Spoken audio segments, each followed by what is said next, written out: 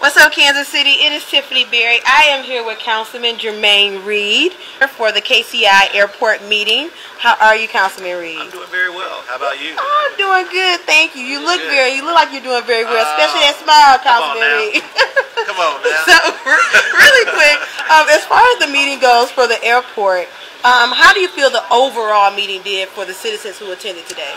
Well, I can tell you that I have been attending all of the listening sessions that have happened so far. So this is the third of nearly about five more that we have to go, and I plan to uh, attend those as well. But what's most important to me is that we're listening to the citizens of our city. And when we had the vote back on uh, November 5th, we of course said that the airport conversation did not stop. It really pressed the start button. And this uh, today and the uh, previous and the ones that are to come, uh, listening sessions are a reflection of what that conversation should continue to be.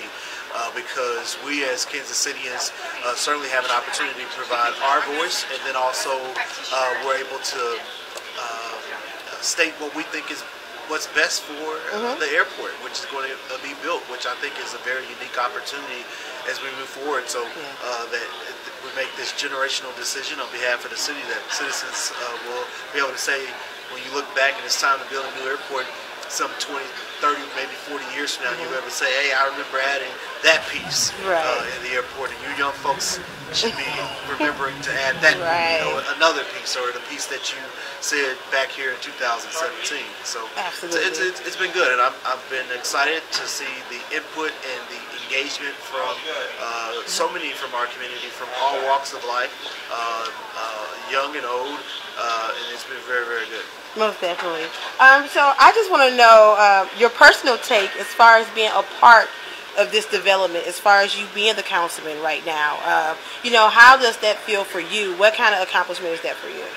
Well, I mean, it feels good for me. I can tell you that as a public servant, I sign up to do uh, what is right on behalf of the citizens of our city. So I can tell you that I would turn the question back to all of us as a community is that this is a proud moment for us as a community. Yes. And it's not just one individual who is responsible for uh, this conversation and moving it forward. This has been an ongoing conversation since the 90s.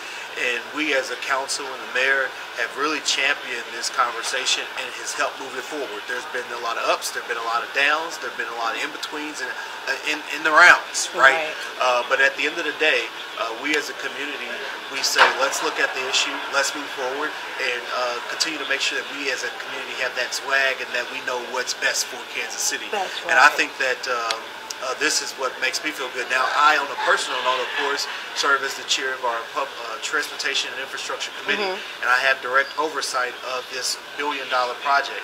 Uh, and so, as the chair of the Transportation Infrastructure Committee, what continues to be important to me is that making sure that we have minority workers on this job, uh, and that uh, local Kansas Cityans actually are going to be able to benefit uh, from the workforce, um, from the design professional, from the construction uh, piece of this, uh, from uh, the, the workforce and, and, and manpower that actually will be uh, providing the work for this uh, for this airport over the next four years. And so for me, uh, I'm going to continue to be laser focused to make sure that not only Edgemoor as a developer uh, are meeting the goals, exceeding the goals, but that people in our community are actually the ones that are getting uh, the type of work that they deserve on this. And uh, that is the responsibility that I have that I take very serious and that over the next uh, 19, 18 months or so that I have on the council, if not ever elected to anything else, which I hope I am, of course, Yes, uh, uh, that I'm going to work hard on behalf of every citizen in this city if they voted for it or if they didn't. Absolutely. Well, Councilman Reed, I thank you. It's always a pleasure speaking. Okay. So um, I just want to thank you for taking your time out. Uh, thank you for being a part of this meeting because we do need this. We want to express our opinions. So thank you for that.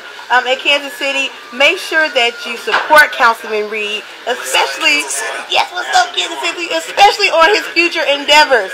Yeah, so, we can talk about it another yeah, day. we're gonna talk about that another day. mix the Yeah. conversations So, now. Kansas I look forward to having that conversation. Let me- let me assure you what's up, Kansas City. I mean, What's up, Kansas City? All right. You, you heard him. You heard him. so check us out at whatsupkansascity.net. And um, always remember, if you don't grind, you don't shine. You don't work, you don't eat. So make it make sense. You gotta go work. This program is brought to you by the Service Law Office, specializing in family and guardianship law.